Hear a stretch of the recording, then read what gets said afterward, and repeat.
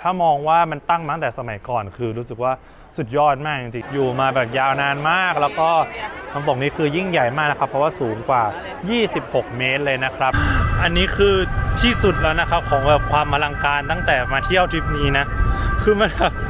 สวยมากแบบอืมคือมันเป็นแบบหินอ่อนทั้งอะไรตั้งแต่การแกะสลักทั้งหมดนะครับ คือสุดๆเลยอะที่เนี่ยอีก 5 นาทีจะปิดแล้วนะ แล้วเราก็ จะซื้อตั๋วก็แบบไม่ทงไม่ทันอะไรแล้วแบบลนไปหมดสุดท้ายก็คือ อดข้าวเพียซาโนบาน่านะครับ ก็จะเป็นสแควร์กลางเมืองนะครับ ที่เรากำลังจะเดินผ่านไปยังแพนซิออนพอดีเนาะ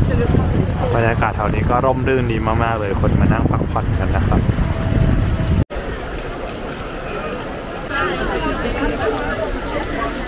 อ่าแล้วก็กลับมาในอาณาเขตท่องเที่ยวของประเทศอิตาลีนะครับ แล้วก็ที่เที่ยวแรกเมื่อกี้ของเราก็คือ Pantheon หรือเจ้ามหาวิหารนะครับ ซึ่งนอกจากในประเทศอิตาลีแล้วก็จะยังมีที่ปารีสแล้วก็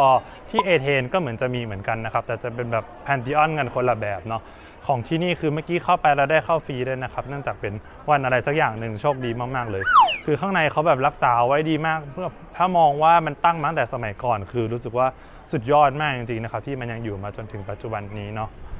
แล้วก็ตลอดทางที่เดินก็คือสังเกตอย่างหนึ่งคือกรุงโรมคือคนเยอะมากแบบเยอะมากจริงๆนะตรงฟลอเรนซ์แบบตามจุดท่องเที่ยวที่เรารู้สึกว่าโอ๊ยทำไมคนเยอะอย่างนี้นะครับพอมาเจอกรุงโรมก็คือเทียบกันไม่ได้เลยนะครับ ปวดหัวเลยกับการรอคิวต่างๆ และน้ำตกข้างหลังของเรานะครับก็คือ Trevi Fountain นะครับน้ำตกนี้สร้างมาตั้งแต่ปี 1730 กว่าๆเลยนะครับ อยู่มาแบบยาวนานมาก แล้วก็น้ำตกนี้คือยิ่งใหญ่มากนะครับ เพราะว่าสูงกว่า 26 เมตรเลยนะครับ แล้วก็กว้างขวางมากๆนะครับแท่งอันนี้ก็คือตั้งอยู่กลางเมืองเลยนะครับ คือทราจันฟอรัมนะครับ เอ้โหแบบ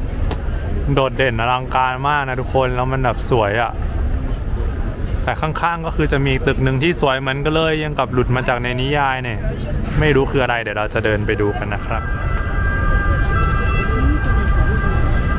โอ้โหอันนี้คือที่สุดแล้วนะครับของแบบความอลังการตั้งแต่มาเที่ยวทริปนี้นะ คือมันแบบสวยมากแบบ อืม อันนี้คือยังกับแบบหลุดมาฉากในหนัง เวลาเปิดตัวแบบพระราชาของอาณาจักรอะไรหนึ่งเลยนะครับ เขาเขียนว่าตรงนี้คือพาราโซเบเนเซียนะครับ ก็จะเป็น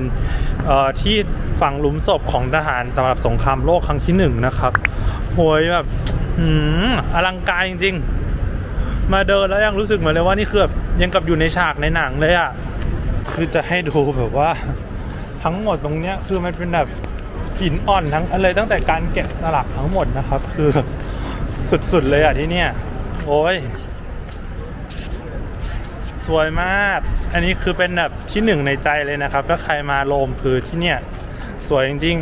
ๆ ต้องมานะโอ้ยจะให้ดูวิวรอบๆนะครับ สุดปัง อะ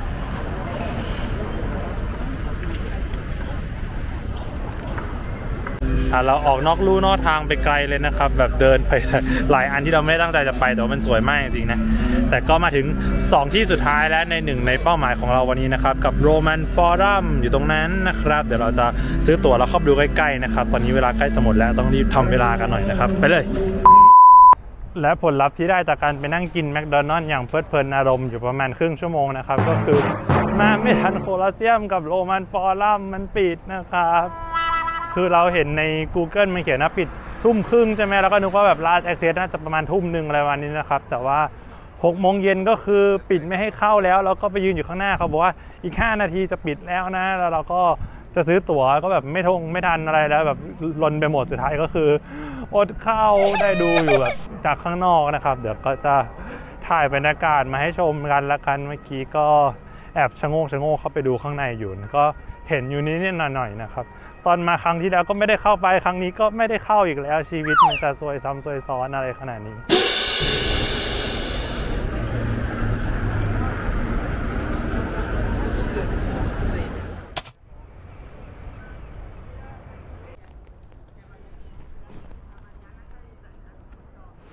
ก็จากการลองเดินสำรวจจนทั่วโคลอสเซียมแล้วนะครับ รอบๆ มุมที่สวยที่สุดน่าจะเป็นแบบ